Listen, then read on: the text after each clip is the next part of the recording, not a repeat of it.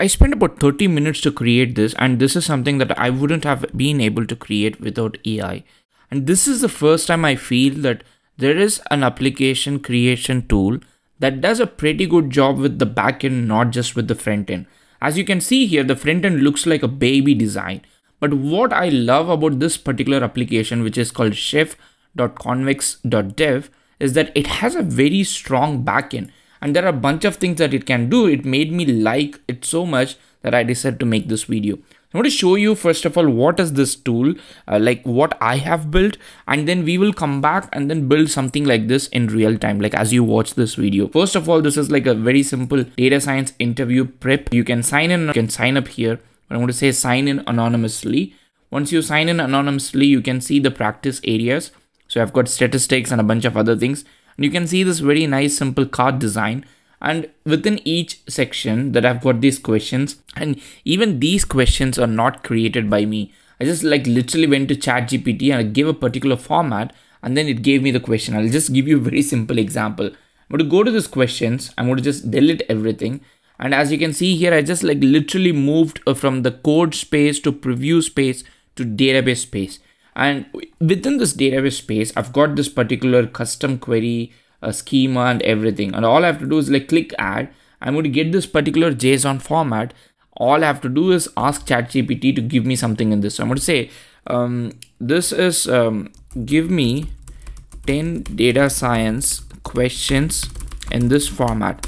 Another thing that you have to make sure is that it matches with the front end or whatever that you have got. I'm going to go to my preview and then just take a simple screenshot here and then say these are the categories so these are the category names. I'm okay with the typo. So now what ChatGPT is going to do is it's going to create these things for me and uh, I don't have to manually create it. So you can see that it identified from the screenshot that I've got statistics and probability. So it created an answer, it created a question and it is doing all these things. Now, after it is done, all I have to do is I have to copy this JSON and paste it there. And the backend is quite solid, to be honest. Like you've got, once you go there, see, I'm not a backend guy. I'm not even a front end guy. I'm not a full stack guy. So for me, when I see something like this, it looks so easy for me to process this. So I've got like the users, once users sign up, I'll get to know who are the users who are signing up. I've got logs. I can see like what is happening with the app. So somebody is trying to see the user. Somebody is trying to see the questions. So you can you get to basically see all these things. I don't have any files at this particular point but i can go ahead and then upload the files. So as somebody who is trying to create a full stack application this probably felt like the first time an application has got or AI application has got a strong backend connection. I've used V0, I've used Bolt, I've used Lovable with all these tools you can see that this is one tool that has got a very strong backend, not just the focus on the front end, which seems a very interesting direction to have. Now, let's go back to ChatGPT and just like literally copy this. Okay, ChatGPT, I'm going to just copy this. Now come back to Chef by Convex. I'm going to go to the questions and say add and just paste it and save it. And once I do it, I'm going to go back to my preview and you can see that the questions that we pasted from ChatGPT are already here. So you can see these questions are there. So again i don't nothing is there in deep learning. Okay something in machine learning. I still have to improve the ui you know i have to expand the question show something but the fact that i could build something like this like within 30 minutes without having to know anything at all is one of course it's dangerous because if something goes wrong i wouldn't know it that's why i would do something like this on this particular platform rather than doing it on windsurf or cursor but second thing is like it's quite fun. Like if I have to create something for fun, it's very interesting. So now that I showed you what tool I built, I'm going to go back here to this home page and then just mention and then do something. Let's let's do something for very fun.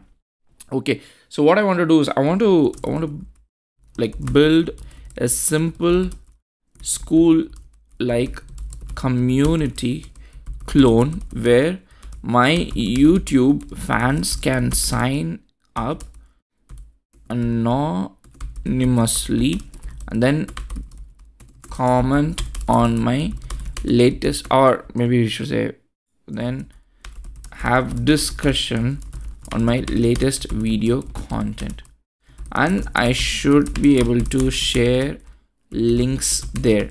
It's a big ask. Let's see how it's going to start with the MVP. So one thing that I love doing with these kind of AI tools is to first of all understand like what kind of planning that they're doing. I think this is very important with the multi-agent system. You need a good planner and this is something that I screwed up in a very recent interview. So asked to design a multi-agent system and stupid of me that I didn't even start with a planner. Most likely I flunked the interview at this particular point. So I will help you build a community platform with the discussions and link sharing. Here is the plan. Create tables for posts and comments. As you can see here, it starts with a very back-end mindset. That's that's absolutely what I love about this particular platform. So none of these platforms that you use like V0 or Lovable start with a back-end mindset.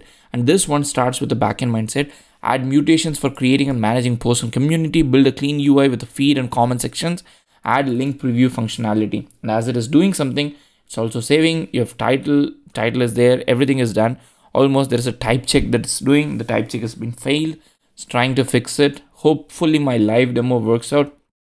Go to the preview and so far there is no preview. I think yeah, so it's it's got to fix the front end, pushed the functions to convex okay so i've got welcome to our community. Um, sign in anonymously. I can post a link. Um, i'm currently maybe i should just get a youtube video. Let me go to my home. Hopefully nothing is there controversial.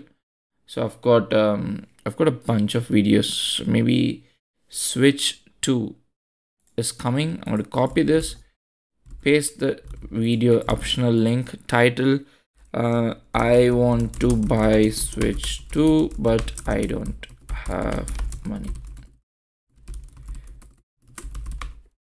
It's expensive and please stop the T-A-R-A dash star star okay?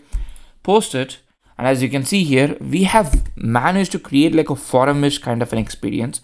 So you can probably somebody can log in and then say comment hey guys this is so bad. Economy is tanking. Please buy playstation. Send it. So it's good. It's it's everything that we wanted is happening absolutely fine. Now what i'm going to say is i'm going to say the ui is pretty bad. My kindergarten friend can design better please take some inspiration from Dribbble kind of designs and design a top notch UI. So all I'm asking you to do is just to make UI changes. And now what you can do is like, because we have submitted something, we can now go to database and then see what kind of tables exist. So you've got the basic ones, auth accounts, auth rate limits, refresh tokens and all those things. Now I can go click comments and you can see here, I've already got the comments table. I've, you can go click post. You can see I've got the post. And this is very, very important as you want to actually build a SaaS. I mean, everybody is saying SaaS is dead. But this is the first time I feel that like the backend is so tightly integrated to whatever that it is creating. I feel like you can truly create something like that is meaningful, whether it is a small CRM for your company, like an internal discussion platform like this, or maybe like a Stack Overflow clone. All these things require a strong backend because it's not just the fancy UI that will get you the app running, but you need a strong backend. And that's why backend engineers are like paid a lot more, generally speaking. And this application, Chef by Convex, is doing exactly the same. I couldn't find what kind of pricing that these guys are going to operate it with, um, given that Convex itself is a platform, they've got a separate pricing. I'm not sure like if it is going to be a free application on top of Convex. I'm like truly blown away by the um, by by this particular tool. I want to sign out, and you know that most of the tools when you sign out, like things would go away. But here it wouldn't happen because you've got a database and things get stored in database, which is a good thing. So I'm going to go refresh this okay so it says welcome to our community. I mean okay decent. Join the conversation and connect with others. Sign in anonymously okay this is the css is much better. You can create posts like this. There is like a, a gradient button. This is already there. I can just go okay so let's have a Gukesh video. So copy this. Gukesh, for those who do not watch chess, is the current classical world chess champion and uh, he's from India. I'm going to go back here, paste the title. What's on your mind? Um, I have to say this must be a fun video, but I don't like Botez sisters. Okay, so I've got the second one. I can say who doesn't like Botez sister get the F out of this place. So this is like somebody commenting it to me. It's it's beautiful. I mean like the UI requires still further more improvement, but this absolutely brilliant. You can go back to the database, see everything, and they've got a deploy button. I don't know what is going to happen if I click this. I just like literally click this.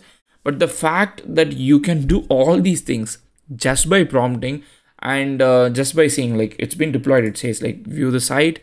Okay, you can see unique cormorant cormorant um, 913 convex.app sign in anonymously.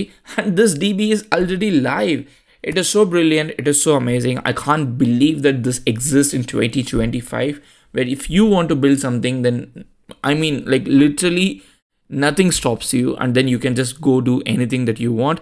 Let me know what you think about it. If you especially if you're a full stack developer or a backend developer let me know like if it is like a, a gimmick or if it is like truly truly something amazing. See you in another video. Happy prompting